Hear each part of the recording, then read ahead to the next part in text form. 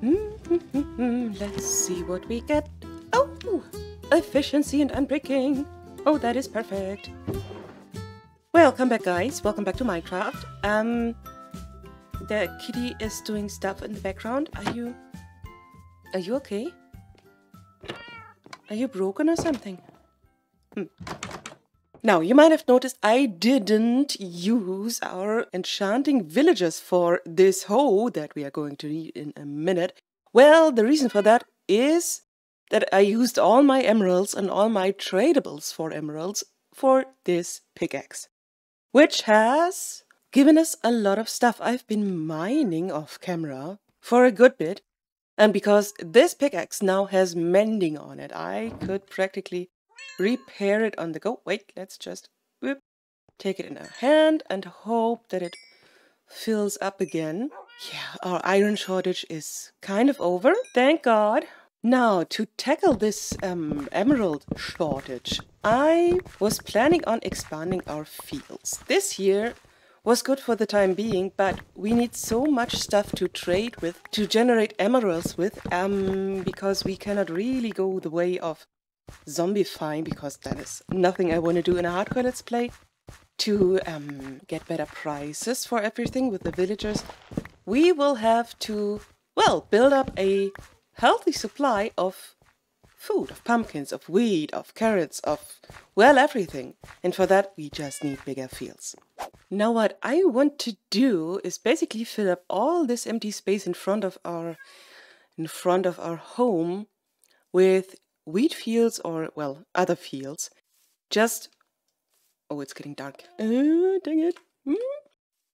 To, to be able to harvest enough stuff in one go to, to, well, get a bunch of trades going. Hello, kitty. And she's purring. That's very cute. Did you know, by the way, that they occasionally, kitty cats, bring you gifts? I've recently got um gotten an I think it's a rabbit's paw, rabbit's foot, rabbit's paw, something you need for enchanting later on, from her. Anyways, I will start laying down an outline, maybe even filling this kind of hole up so we can use this space as well. And yeah, create massive fields.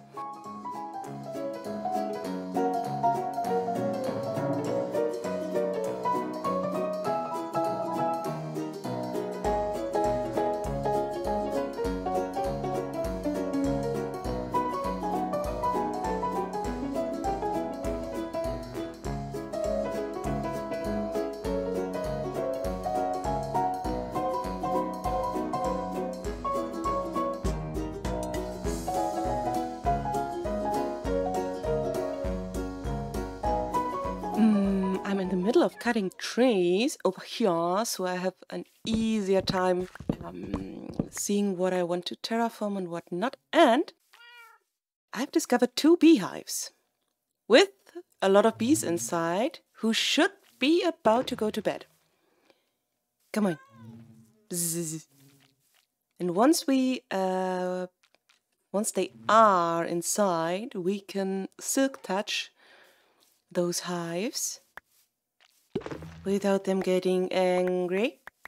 At least I hope so.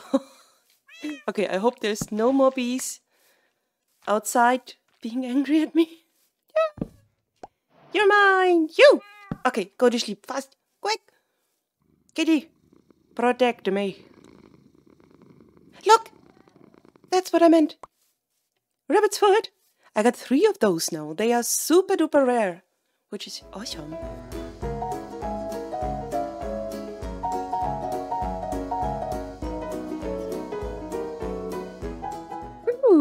Well, well, well, well, well, well, well, well. This is part one. this plot here, wait, wait, wait, let me show you. I filled all of this up and I'm going to wall all of this area, this even ground here, in like I walled this in. This down here, I um, decided against filling that up because I'm out of dirt. this is just too much, too much, too much space to fill in. But I thought, okay, leave it at this level. even it out. And this could be the place where we can grow lots and lots of sugarcane, way more than we can grow over there. One thing that I'm going to need for this... Oh, did you just give me another rabbit's foot? Oh, you are so awesome. Um, what we are going to need for this is sand, because sugarcane grows quickest on sand. And then I have to think about how I will, hmm, put water down there, but I think I have an idea. Now, the only thing that um might cause trouble in the future, and I will have to yeah, find a solution for that, is um potentially mobs coming down those hills and just falling over the fence. Yeah, but I'm sleeping almost every night. Hello, kitty. So that might not be a problem. So, um, I successfully made some noodles in the sand. Wait. yep. That is the most efficient way to get a sugarcane farm going. Mm -hmm. we don't talk about efficiency here. Uh, this looks like like a thing and it's gonna work wonderfully. Now, the way I want to get the water in here is, well, first of all, get the water in here. Shocker, I know. Um, and then I actually want to hide it under trapdoors like this. Oops, not like this, only like this. So we can walk over it and when we um, harvest the sugarcane that will be growing on the sand here, it won't fall into the water and we will not stumble there uh, into the water. And and and yeah no water. You know what i mean? Yeah. So everything is planted and it is starting to grow. I'm really curious to see how how much one harvest will yield there. We'll get to that in this episode i believe. Um for now i've set the outline for the um other fields um, that might be a little bit ambitious. Uh, yeah, doesn't matter.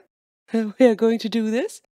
And um, there should be an, an entryway over there, path leading to the to the house, to the other side entrance. And what I'm going to do with the wall over here towards the bridge, I'm not really sure yet. We will, well, we'll need place for um, we'll need a place for stables and stuff, I guess, at some point.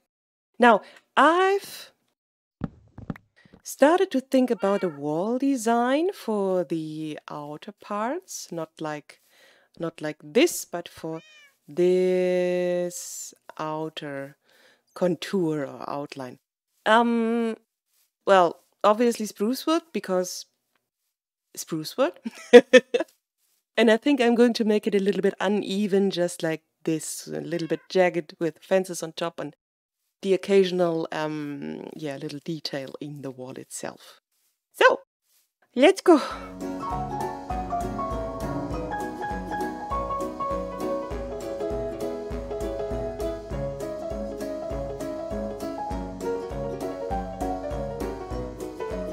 And good morning! It is the next day, very early for me, and I've just woken up, started Minecraft, and seen that this is grown completely. And because I have to wait for a little bit anyways, because I need a lot of wood, I'm almost out and the wall is not finished yet and I've planted the trees up there to, to uh, yeah, um, um, restock my wood supply.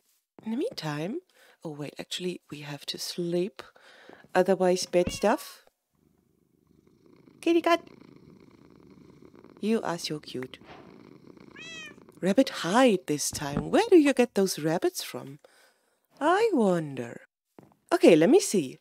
Um, from zero sugarcane to...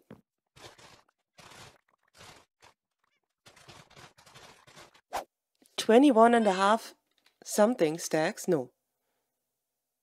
14, 20, 21 and a half. Yeah, 21 and a half something stacks. I'm pretty sure I left one or two sugarcane on the ground here somewhere. because that is the only real um, negative side of this thing that you don't really see like this. It's hard to see um, items on the ground, but on the other hand, it really doesn't take too long to harvest, like two minutes maybe. And that is definitely a good thing to have in hardcore. In survival, I would, of course, have built some sort of automatic farm, but in hardcore, this is perfect. I don't have to replant anything, and this is going straight to the villages. Well, now, quick little update, guys. Um, as you might be able to hear, the space under all of this farmland is hollow, and I might have done a bad job lighting it up. I think this is hell down there. I think this is a mob farm I created. Dang it! I wanted to prevent that from happening, but okay, that's that's how it is. Now, um, for what I've been doing, I've been setting up the wall that is um, from there over there detailed. The rest isn't detailed yet. I'm about to do that right now. I've also laid out some pathing where I think it makes sense. I want to have some little details in here. Of course, I want uh, stuff like well, let's say a little flower bed or or um, a big tree in, in the middle in here, and a little pond in, in here, and all of those bigger spaces are reserved for crops. Um, we'll see how we do that later on. For now, we are going to detail the rest of this wall, and I I hope you like it. I do actually like this completely jagged and and and roughed up look. I I really do and I've put um, on several spaces, like like here behind oak trapdoors and better hidden behind spruce trapdoors, lighting in the walls, just to to have a little bit of something every now and then. Um, there will of course be lighting on the ground as well, but I thought, hey, come on, put something in the walls too. So let's just see. The last one I put in was here, so here should be a good idea for another jack-o'-lantern. And this time behind a spruce, no, oak trapdoor, that's what it is. and for the other details, I've been, every now and then, I've put in some blanks just to get a little bit of a different texture. And every now and then I put a stripped log um, in another way kind of another direction, also for a little bit of more detail. Quick little update before before I get to um yeah preparing the farmland itself. I might have accidentally uh, built some custom trees. I don't know how that happened, but it it happened. well, I built the pond and kind of felt like something was missing, and I thought, okay, what would go best with wheat fields? That is birch trees. And birch trees also kind of fit in well with the with the pine tree um, biome. So that's that. I finished detailing the the wall.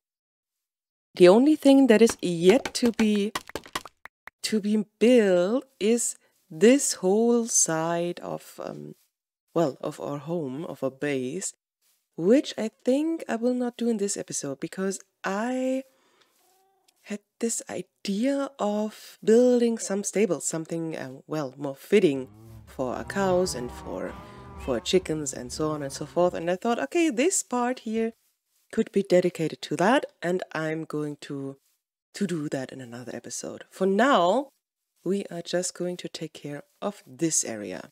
Now, what I have to do right now is place water sources um, as I did before in the farm over there with um, just one spot water sources with with a trapdoor on top and a lantern on there.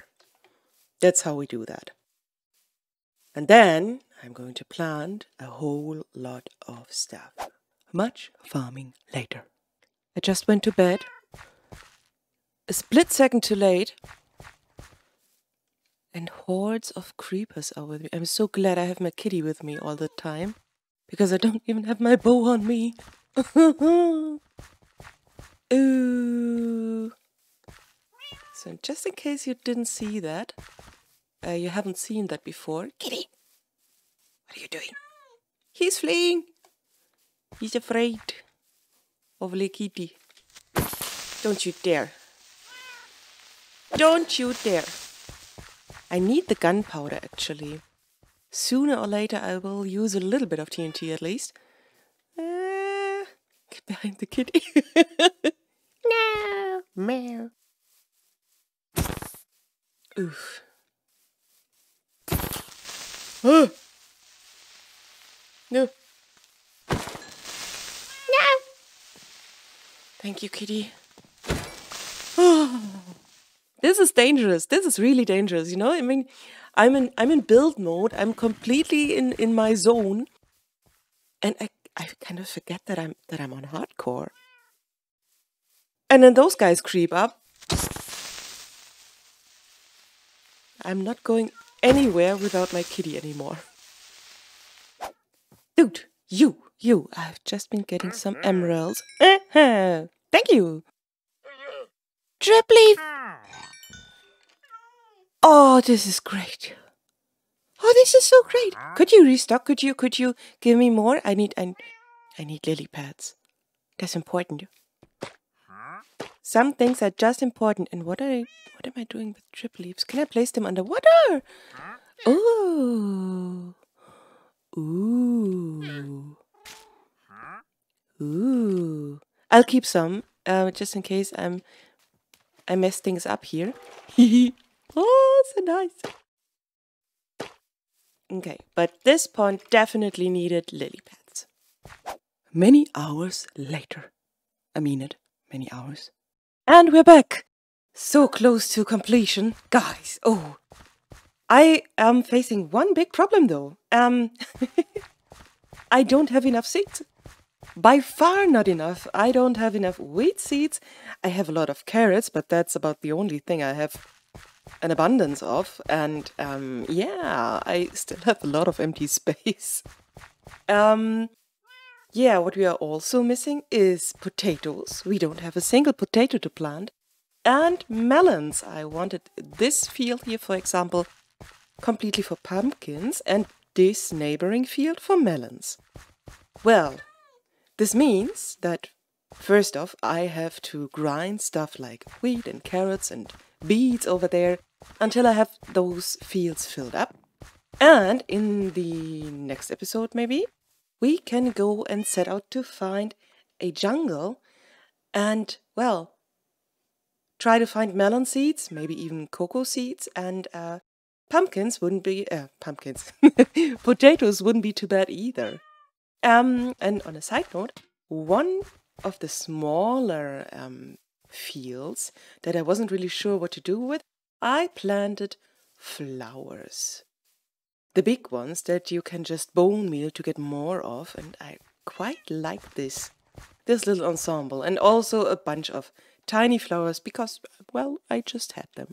And this could be a very good transition between the um, veggie fields and, well, other farming stuff over here. Anyways, guys, thank you so much for watching. I hope you enjoyed this episode, even though this project isn't completely done yet. We got a whole lot of stuff going here, and this is going to be so, so useful. So useful. Anyways, have a good one, leave me a like, and I'm going to see you in the next one. Bye bye.